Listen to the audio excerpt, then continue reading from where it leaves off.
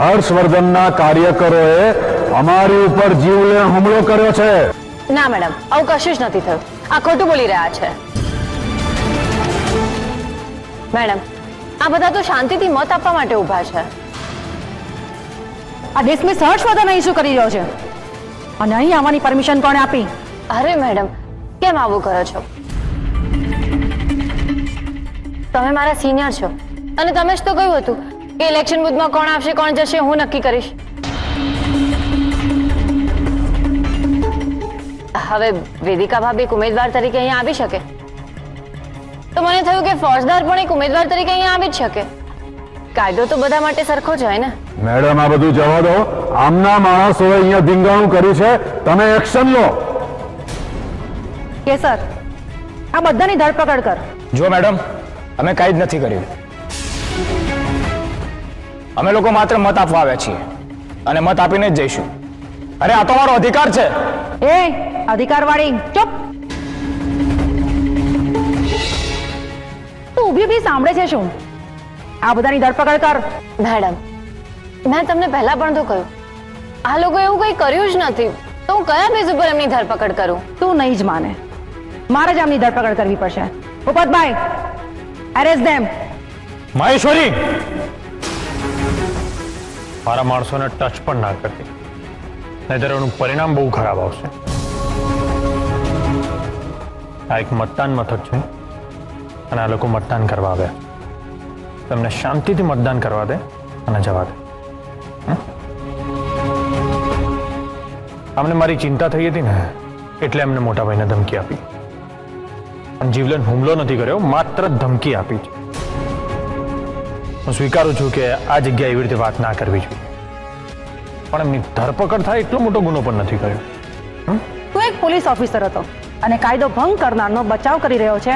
તે મોટા ભાઈની સાથે રહીને એમના કેટલા કમ્પાઉન્ડોને ગ્રીન સિગ્નલ આપ્યું છે કહું બધાની વચ્ચે હમ?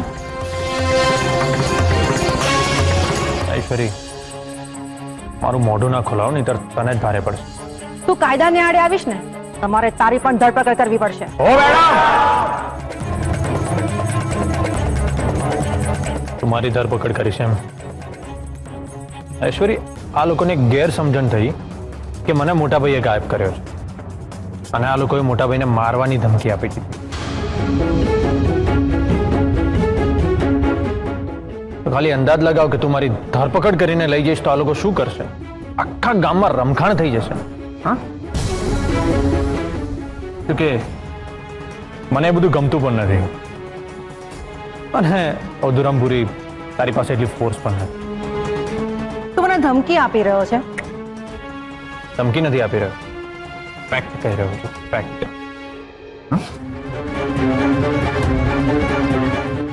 ટ્રાય કરવો છે કર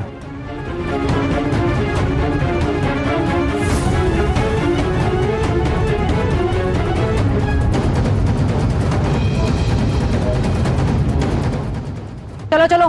અહીં ટોળ શું ઊભા છો? જેને જેને મત આપવાના બાકી છે, બધા મત આપો. શાંતિથી પણ.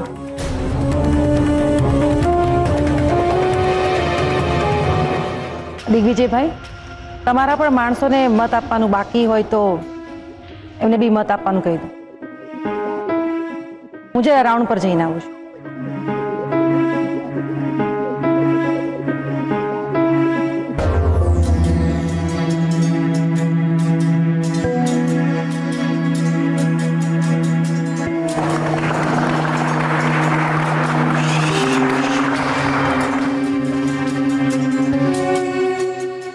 કોઈ એક શબ્દ પણ નહીં બોલતા હા? ચલો ચૂપચાપ મતદાન કરો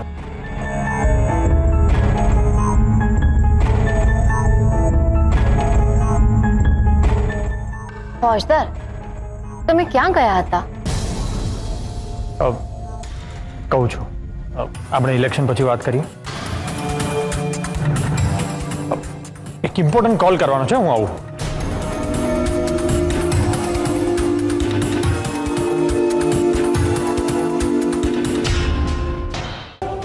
કોની સાથે વાત કરતા હતા કઈ નહીં એ તો અ, એમ જ પૂછવા માટે ફોન હતો હા પણ કોનો ફોન હતો અને તમે એવું કાંઈ કહ્યું કે હું આ વાત કેસરને પણ નહીં ખબર પડવા દઉં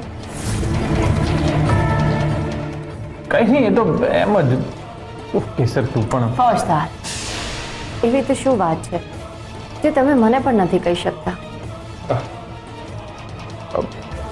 કેસર તું હમણાંથી બહુ જ શંકા કરવા લાગી છે હો. આવું નહીં કર નકામાં આપણી વચ્ચે ઝઘડો થઈ જશે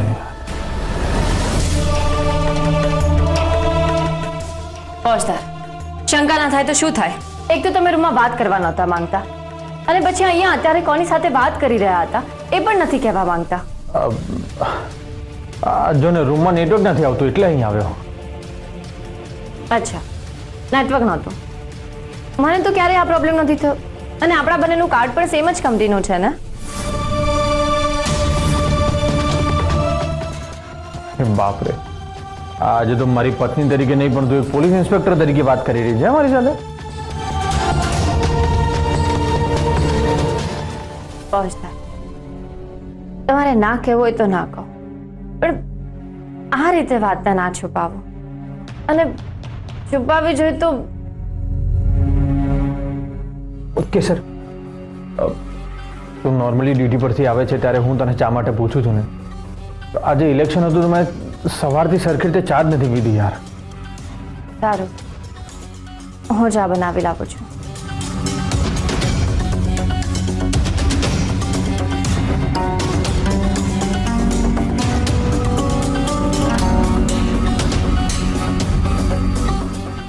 ચા પીધા પછી કહેશો કે હમણાં કહો છો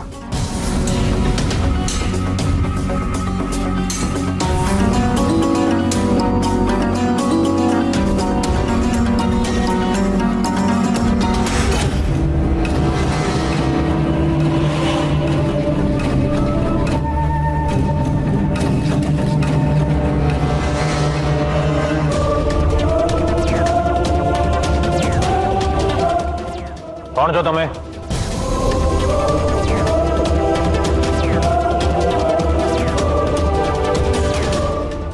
અરે છો કોણ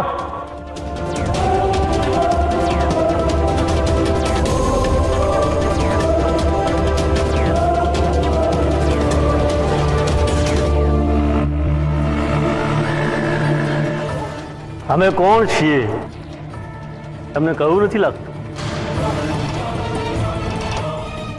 એમાં એમનો કોઈ વાંક નથી અમે જ એમને ના કહ્યું છે anyway mister Harshvardhansinh how are you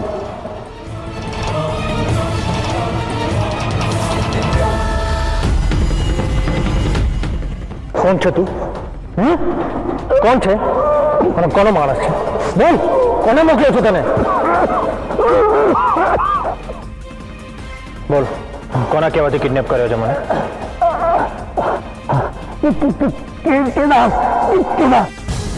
What? કેદારના કહેવાથી કિડનેપ કર્યો છે હે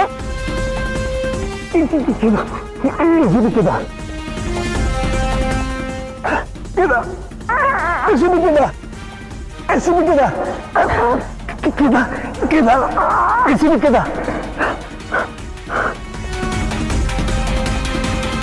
गिरा ऐसे भी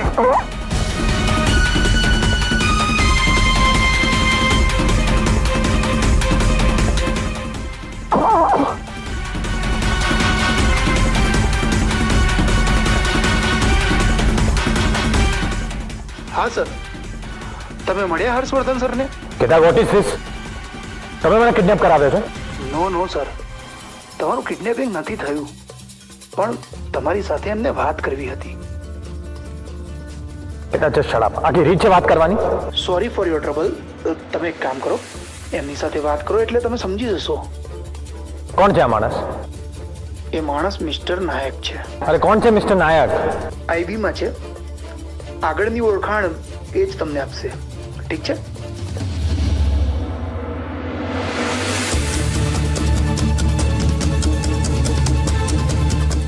sorry are you okay it's okay okay